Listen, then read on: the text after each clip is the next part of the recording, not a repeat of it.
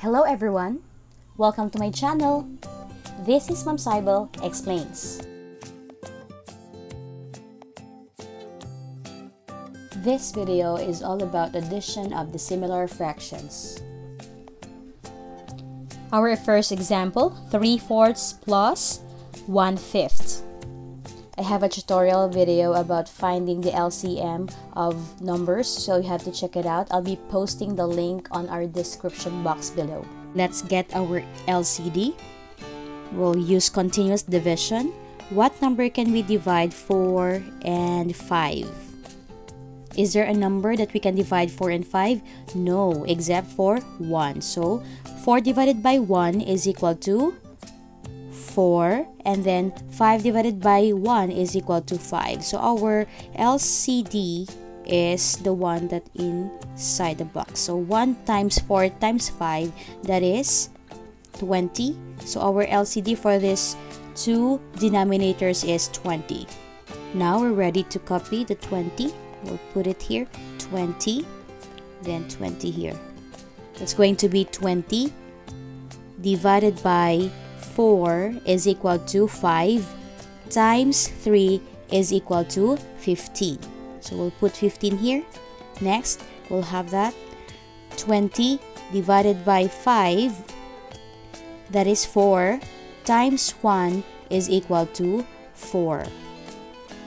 And now we are ready to add because they are already similar fraction. So we can just add the numerators that's 15 plus 4 is equal to 19. Then we can copy our denominator which is 20. So our final answer is 19 over 20. We have another one. For this case, I think it is better if we do lowest terms so that it's easy for us to add these two fractions. Let's do the lowest term. What number can we divide 6 and 15? That is 3. 6 divided by 3 is 2. 15 divided by 3, that's 5. What number can we divide 30 and 24? That's 6.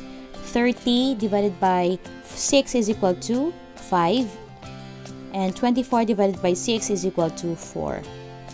Now we can just copy the lowest terms of these two fractions. That's 2 fifths and 5 fourths. Next step is we have to get the LCD of 5 and 4. Let's have that 5 and then 4. What number can we divide 5 and 4? I think there's nothing except for 1. So 5 divided by 1 is equal to 5. 4 divided by 1 is equal to 4. So the LCD will be inside this box. That's 20. So it means our LCD here is 20. 20 divided by 5 is equal to 4 times 2 is equal to 8. Next, 20 divided by 4 is equal to 5 times 5 is equal to 25. Now we are ready to add these two fractions because they're already similar that's going to be 8 plus 25 is equal to 33. Then copy the denominator which is 20. This is an example of improper fraction so we have to change it to mixed number. We will erase this one first so that we will have um, space for the solving. How do we change improper fraction to mixed number? You have to check my description box because I will be posting the link of that math tutorial video. We will now divide 33 by 20. How many 20 can we find in 33? That's 1. 1 times 20 is equal to 20. 33 minus 20, that's 13. So it means our answer will be 1 and 13 over 20 and its final answer. We have another example that's 2 and 3 fourths plus 10 over 20. Before we proceed to addition of these two fractions, we can check first if there's a fraction or fractions that we can do lowest term. I am sure that 10 over 20 can still be reduced to lowest term. So what number can we divide both 10 and 20? And that is 10. Okay, 10 divided by 10, that's 1. 20 divided by 10, that's 2. So it's easy if we have the lowest terms because we can save time in solving these two fractions. So it's better if we can copy these two numbers so it's easy for us to um, solve. That's 2 and 3 fourths plus 1 half. These two fractions are dissimilar. We have to change them to similar fractions in order for us to add. So let's get the LCD of 4 and 2. What number can we divide 4 and 2? That's 2. 4 divided by 2 is equal to 2. 2 divided by 2 is equal to 1. Is there still number that we can divide? 2 and 1? I think there's none, so it means that is already our LCD. The ones inside. We'll just multiply those numbers, the ones inside the box. So that's going to 2 times 2 is equal to 4 times 1, that's 4. So our LCD is 4.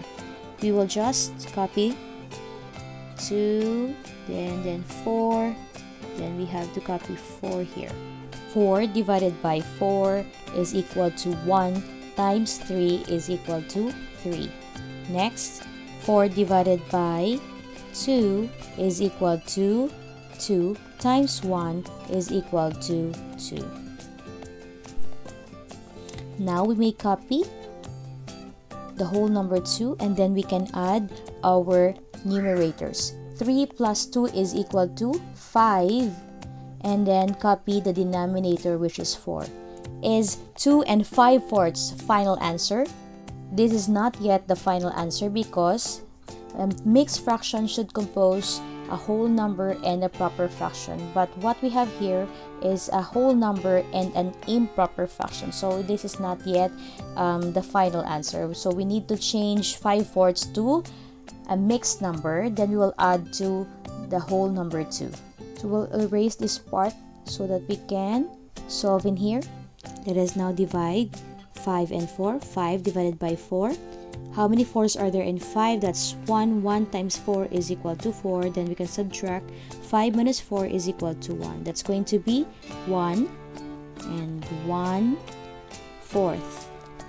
So it means 5 fourths is equal to 1 and 1 fourth. So that's going to be 2 plus 1 and 1 fourth. Our answer will be 3 and 1 fourth. So that's our final answer. Don't forget to hit the like button if you think this is helpful. Till next time!